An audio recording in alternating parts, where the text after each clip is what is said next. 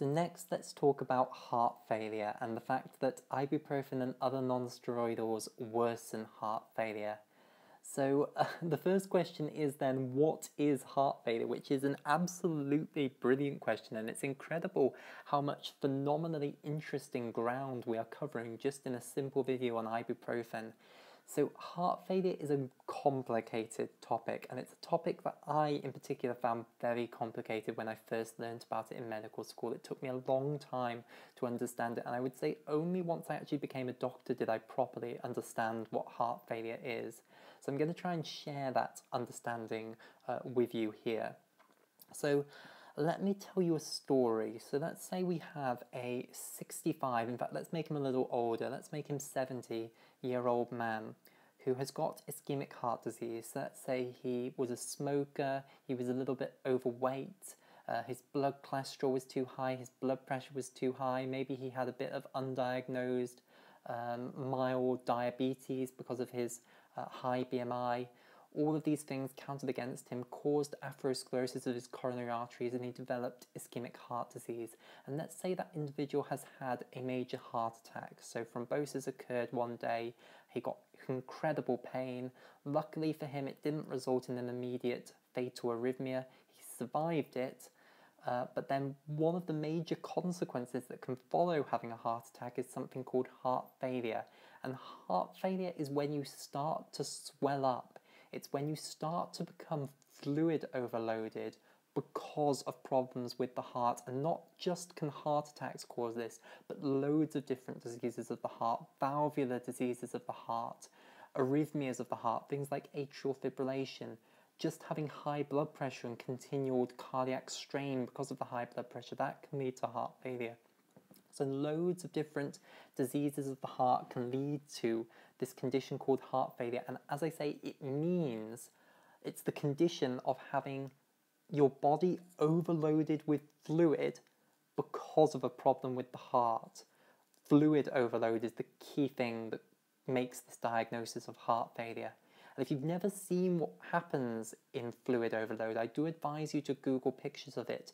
People literally swell up, they end up with far too much water in their body. It ends up in all of their limbs and they become really edematous, and you can sort of poke your finger into their swollen legs and it will sort of leave a massive great pit that gradually comes back up. That's called pitting edema. So people end up very edematous from fluid overload also it ends up in other tissues of the body. So of course the lungs are basically air-filled, really soft tissue. They're like sponges effectively. So fluid ends up filling the lungs, and this is a condition called pulmonary edema, and this makes people really, really breathless when they become fluid overloaded. And it can cause severe problems with breathing because, of course, if the lungs become full of fluid, they're not going to be very good at exchanging gases, so it can lead to respiratory failure. So it is really dangerous, potentially, fluid overload because of its ability to stop the lungs from working properly. So the old name for people with heart failure was we would say they had a condition called dropsy. Now this is not a name that's still used clinically. You would never uh, say that the patient has got dropsy. Uh, but this was the name that people used to use to describe these people who were blown up like balloons from this edema. And generally most of the fluid ends up in the fat tissue. And a lot of people will have it mildly, and it might be the case that it hasn't got so bad that it's actually pitting yet. Um, the way you can tell is if you feel the patient's fat tissue when they've got mild edema, it feels sort of hard. Whereas, of course, when you're young and you don't have any edema, the fat tissue is really soft. So, I really do advise, you know, to any medical students or junior doctors who struggle with heart failure do feel what your own fat tissue feels like and then feel what the fat tissue of patients with edema feels like. And you'll notice that their fat tissue is much harder in mild cases of edema. In severe cases of edema it's much more obvious. Of course it's pitting. You put your finger in and it makes a pit because there's so much fluid in the fat tissue. But in milder cases it can be more difficult initially to understand what it, people are talking about when they say this patient is edematous uh, and you need to feel their fat tissue and you'll feel that it's much harder because of all the fluid that's in their fat tissue uh, that isn't in a young person who doesn't have any problems with edema's fat tissue. So, why does this happen? Well, the full answer no one yet knows, but what we do know is that when people have problems with the heart, diseases of the heart, it somehow leads to strange activity within the kidneys. The kidneys respond to that very strangely and they start to retain salt and the retention of salt leads to the retention of water. And this is a key point in understanding this that you need to think of it as a salt retention rather than as a water retention. So, a key phrase from physiology class is that water follows salt. So, let me just explain this in a little bit more detail. So, if you take someone, let's take me, a 20 something year old male, when I drink a glass of water, that water gets absorbed by my gastrointestinal tract, but that water is going to be peed out really quickly because that is just water. You can't keep hold of that water. The body can't say, I'm going to keep that water, because if it did, that water would dilute the blood and the extracellular fluid and would lead to um, the concentration of sodium within the blood going down, and that would lead to electrical chaos all over the body. So you have to control the concentration of the electrolytes in the blood and the extracellular fluid. And remember, the blood and extracellular fluid are in continuum with one another. So the concentration of all the electrolytes in the blood is the same as in the extracellular fluid. So you can't just keep water it would dilute all the electrolytes and lead to electrical chaos. So when I drink water and it gets absorbed, you then have to pee that out. And the kidneys have no trouble just peeing out water, they make nice dilute urine. If you want to retain water, you need to take lots of salt with that water. So, of course, salt is going to be in the food we eat. So, when I eat and I drink at the same time, the food that I eat brings the salt in, the salt's going to be absorbed in the gastrointestinal tract, and of course, that salt will replace the salt that I've lost from sweating, etc. Uh, but a huge amount of it will then be excreted also in the urine, the bits that I don't need to stop me getting too high concentration of electrolytes in my body. Now, if the kidneys don't get rid of some of that salt, then it will keep that salt, but it will keep it with water so that it hasn't disturbed the concentration of electrolytes within the body. So remember, electrolyte concentration takes precedent. You cannot keep something that's going to disturb the electrolyte concentrations. You have to keep, if you're going to keep salt, you have to keep water with it as well. Now, the kidneys have a harder time getting rid of salt than just water. If you drink a glass of water, it will get rid of that water really easily. Anyone's kidneys can manage that. Easy peasy Getting rid of salt is much harder work for the kidneys. So if you eat a really salty meal, it's more difficult for the kidneys to get rid of that salt. It takes a longer amount of time to get rid of it. So for a while, whilst that salt's waiting to be got rid of, it will be held onto. But to hold onto it and not disturb electrolyte concentrations, it has to also hold on to water to have that salt dissolved in that water. So temporarily your body volume will increase whilst you're waiting to get rid of that salt.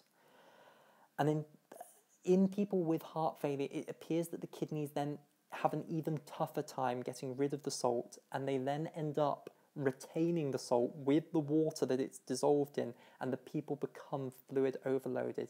And in fact, a way of making yourself edematous, and if you're young and healthy, you won't be able to make yourself badly edematous, but you will be able to make yourself more edematous, is eating more salt. So again, uh, to stress, you cannot make yourself edematous just by drinking water. The way to make yourself edematous is by eating too much salt, because the salt is the bit that the kidneys finds more difficult to get rid of than the water. And if it's going to keep the salt, the body has to have it dissolved in water, and that's how you become fluid overload. It did. So it's retention of salt that leads to fluid retention, not just retention of water, and that's really important to understand. So, to summarize, in people with cardiac problems, for some reason the kidneys respond to that heart problem by retaining more salt than they should. That salt is retained with water that it's dissolved in, and this can lead to them becoming extremely fluid overloaded. All of that salty water ends up in their legs and, God forbid, in their lungs. So people with heart failure, they don't need to avoid water, they need to avoid salt. A low salt diet is really important in individuals with heart failure. And if you want to do an experiment on yourself and make yourself mildly edematous, one of the ways you can do it is by eating a huge amount of salt because salt is difficult for the kidneys to get rid of. And if you eat enough of it, even you, a young, healthy individual, will end up retaining that salt and will end up retaining salt with the water. So you might notice that your legs become a little bit swollen, or not your legs, your ankles most likely become tiny bit swollen after a few days of doing a too salty diet.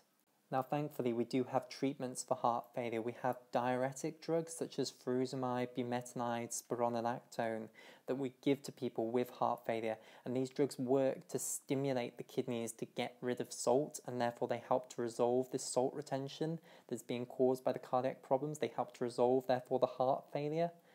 Um, and it is truly absolutely incredible to watch these drugs work. So you start with a patient who's hugely blown up because of all of the fluid, hugely edematous, uh, and you put them on these drugs, and then you give them to them for, let's say, a week, and gradually over the days as they're taking the drug, and they take it every day, uh, you will watch them shrink as they gradually pee out all of the salt and with it all of the water. And it is absolutely amazing. It's one of the most amazing things I see in medicine actually, uh, people with heart failure because they literally can lose half of their body weight from all this water uh, with the salt uh, being peed out.